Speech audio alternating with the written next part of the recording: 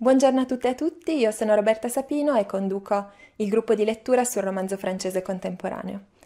Quando Alessia mi ha chiesto di realizzare un video, la domanda che mi sono posta è stata come cercare di mantenere il più possibile lo spirito di scambio e di dialogo che eh, a mio avviso è il vero punto forte del nostro gruppo di lettura. E la risposta che mi sono data è stata quella di provare a creare un ponte con un altro gruppo di lettori, che in questo caso è eh, un gruppo di studenti del Dipartimento di Lingue, Letterature Straniere e Culture Moderne, che quest'anno hanno seguito con me un laboratorio sul romanzo francese contemporaneo.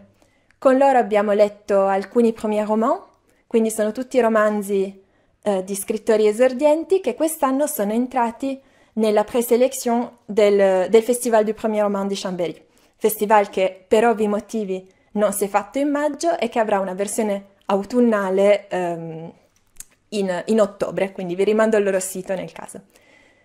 Cosa abbiamo fatto nel laboratorio? Abbiamo letto, commentato questi, questi, una scelta di premier roman e poi ho chiesto agli studenti di parlare di uno di questi romanzi che hanno letto, il loro preferito, in maniera tale da creare una sorta di carrellata di consigli di lettura creata unicamente da loro. Quindi hanno scelto loro i testi, hanno scelto loro eh, come, come consigliarveli e quali aspetti mettere in evidenza. Nel video vedrete quindi i loro consigli e io prenderò la parola soltanto per alcune piccole letture per darvi un assaggio dei libri che loro hanno scelto e che vi presenteranno. Coerentemente con il titolo del nostro gruppo di lettura, anche questo sarà un viaggio. Inizieremo da Berlino, passeremo nel border, questa zona eh, misteriosa che non sappiamo bene dove collocare, ma dalla quale sappiamo che è molto difficile uscire. Noi ne usciremo e andremo a Parigi, non ai piedi della Tour Eiffel, ma piuttosto nel diciottesimo arrondissement e più in generale nella banlieue parigina. Per infine arrivare in un luogo che è al confine tra il Belgio, la Germania e il Lussemburgo, ma che come vedrete ricorda molto l'America.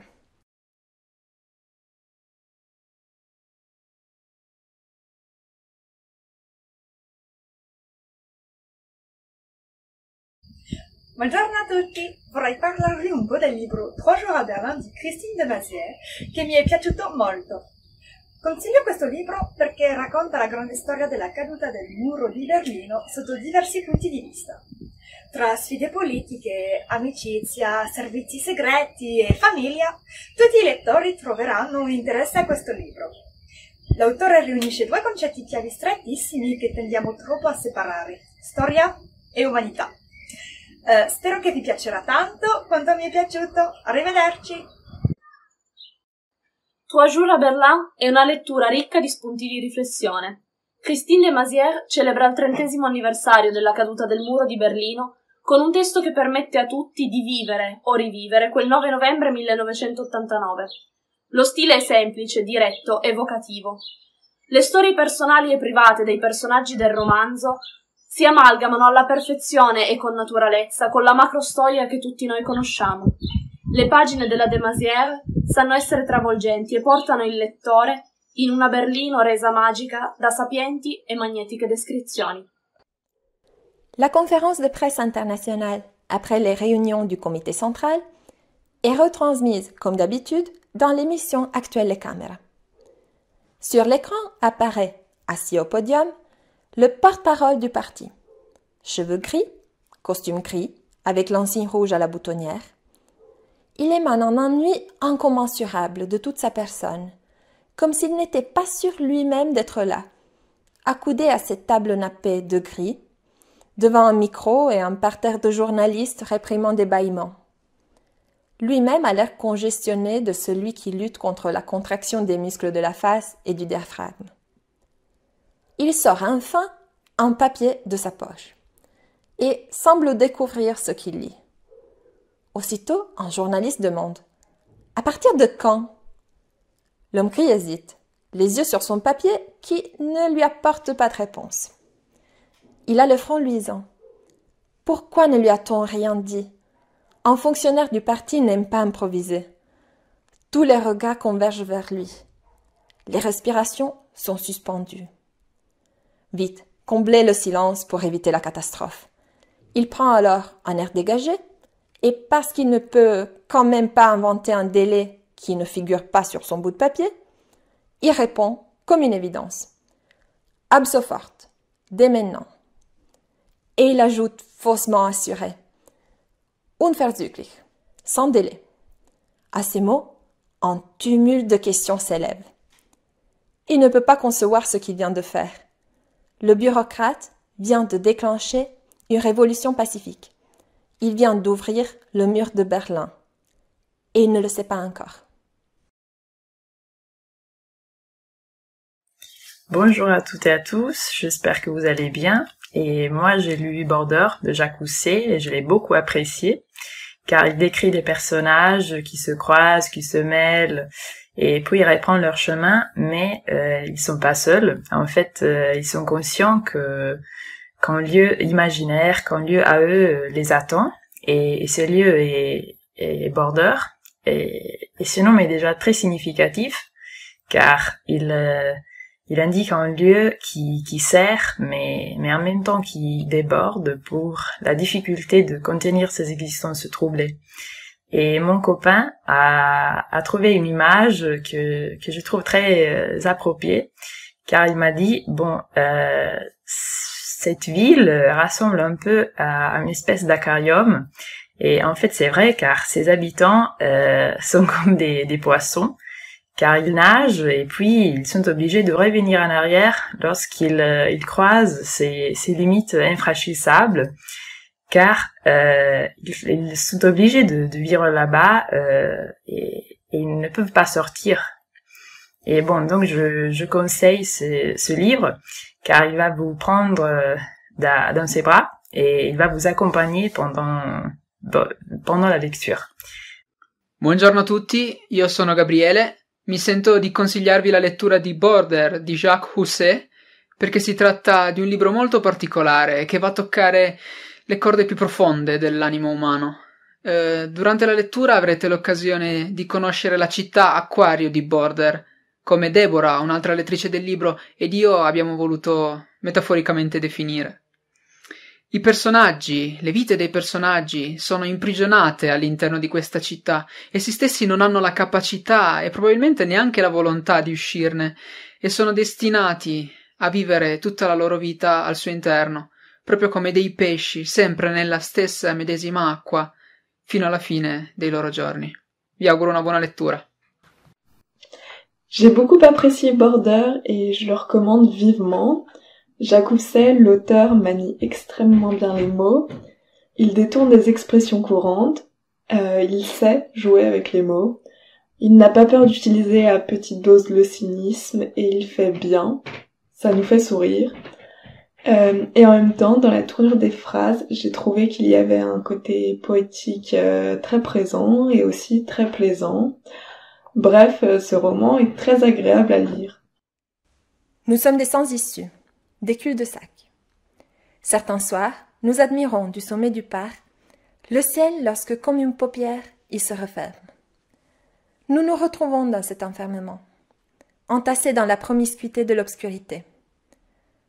Nous possédons cette certitude que rien ne sert de partir plus loin, pour un autre sol, une autre patrie, une autre ville, un autre paysage, une autre mer, un autre bitume. Ici, nous connaissons le nom des choses et des êtres. Pas besoin de guide de voyage, d'interprète, pas besoin de chercher sa place ou à se faire un nom.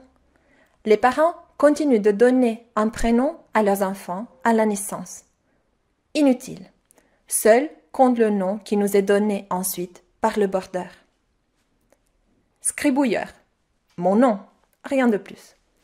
C'est la chinoise, la première qui m'appelait comme ça. C'est qui tient le bazar une sorte de marraine. Quand j'étais petit, elle m'a refilé la fin d'un rouleau de caisse pour que je dessine dessus. J'ai pris un feutre vert et j'ai scribouillé une longue ligne verte qui faisait des boucles montées, descendaient sur plusieurs mètres. Rondeur et angle. Une phrase, ai-je dit. Je ne savais pas encore écrire, pas même les lettres. Phrase dictée. Par on ne sait quelle loi. Je suis ça, celui qui remplit les papiers, scribouilleur. Pas de plaque à ma porte, pas d'inscription au registre du commerce, pas de numéro dans les annuaires. Pousser la porte au fond de la cour, laisser les papiers sur la table, sous l'ampoule nue, venir les chercher huit jours plus tard. Je scribouille pour un peu de silence dans ma tête. Et, quand il n'y a pas de papier à remplir, je prends mon feutre vert et je remplis des carnets, le dos courbé. Carnet de comptes de la vie du border. Livre de bord. Biographie de naufragés, mots inutiles, conversations et trajectoires de ceux qui vivent ici. J'aimerais devenir témoin, celui qui peut certifier les choses, certifier notre existence sur cet écueil. Je scribouille notre vie sur ce récif de briques et de rues. L'encre verte déverse le flux et le reflux du border sur le papier. Alors le silence. Et j'entends respirer le border.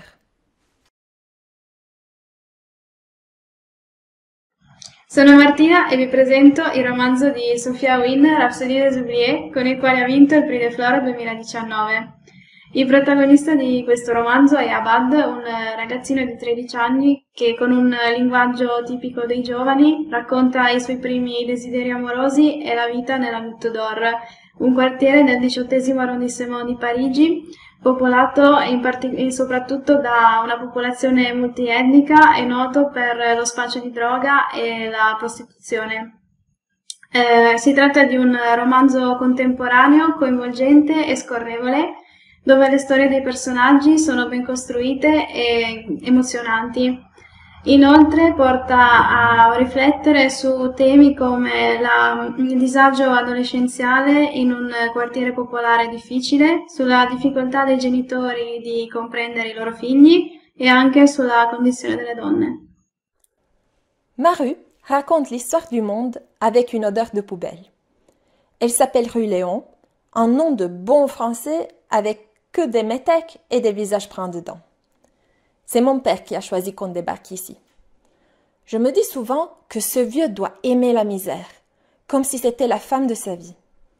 Une espèce de seconde peau que tu aurais beau laver. Inscrite dans tes gènes, à jamais. Ici, c'est Barbès, Goutte d'Or, Paris 18e. Une planète de martiens. Un refuge d'éclopés, de cassots, d'âmes fragiles, de ceux qui ont réussi à dépasser Lampedusa. De vieux arabes d'avant, avec des turbans sur la tête et des têtes d'avant. De grosses mamans avec leurs gros culs et leurs gros chariots qui te bloquent le passage quand tu veux traverser le boulevard. Des gens honnêtes qui ont toujours l'air de voleurs et qui rasent le mur pour pas qu'on les voie. Une rue où il n'y a pas de femme qui marche toute seule. Une ville dans la ville, monstrueuse et géante, une verrue pourrie sur la carte. Dans ma rue, t'as pas le droit d'être un faible. Les faibles, ça finit sur le trottoir, comme les putes de la porte de Clichy et les craqueurs de la porte de la chapelle. Au fond, Barbès, c'est pas différent de Babda. Les mêmes têtes de mercenaires qui en ont déjà trop vu. La même odeur de fleurs d'oranger, mêlée à la crasse. La même musique entre les cris des mômes et les hurlements des alcoolos du café d'en bas, les mêmes visages des vieilles mères fatiguées, la même merde dont tout le monde se fout royalement. Surtout Léon, qui, à mon avis, s'en bat les couilles de là où il est. Voilà comment je voyais ma rue, avant elle. Salut à tous, je suis Francesca et je suis ici pour euh, vous conseiller de lire les romans d'Alexandre Labruffe, qui s'intitule Chronique d'une station-service. J'ai bien aimé ce roman. Il est vraiment euh, très agréable à lire et très léger. En outre, il aborde des thèmes euh, actuels et importants. Il est aussi amusant dans certaines situations. J'espère que vous allez l'adorer comme moi. C'est la nuit.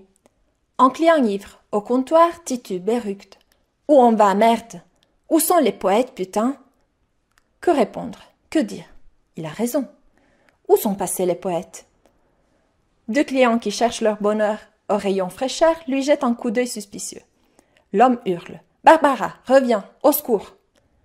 Alors qu'ils étaient en train de saisir un sandwich au poulet, les deux autres clients se figent. L'homme ivre me paye son plein et sa bière en marmonnant je ne sais quoi.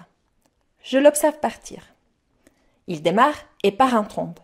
Sa Land Rover disparaît dans la nuit américaine qui enveloppe la banlieue de Paris. Je fume une cigarette dehors, sans client, libéré, léger, enfin désœuvré. Il est minuit. J'aperçois malgré tout dans la brume la forme d'un 35 tonnes. Un camion garé sur le parking poids lourd, au fond de la station-service. Brusquement, un meuglement. C'est une vache. Une vache meugle dans la nuit. Puissance étrange et poétique de ce meuglement dans la ouate. Je m'immobilise, à l'affût. Des volutes de nuages bas se déplacent lentement, se posent sur le toit de la station. Un autre troupeau de moutons de brume caresse la pompe numéro 3, recouvre les halos des lumières, des néons, des réverbères, engloutit le tout. La station n'est plus qu'un souvenir, enfoui dans le brouillard. Passé quelques minutes, deux vaches meuglent à nouveau. Cela provient du 35 tonnes qui les convoie. Le bruit des voitures, filant à toute allure sur le périphérique, étouffé. En souffle. La fumée de ma cigarette, à mes lèvres, suspendue. Nouveau meuglement. Je me dis que c'est déchirant, une vache qui meugle dans la nuit, que c'est comme une bouteille à la mer. J'ai presque envie de pleurer. Je souris. J'exhale une nuage de fumée. Je suis trop sentimentale.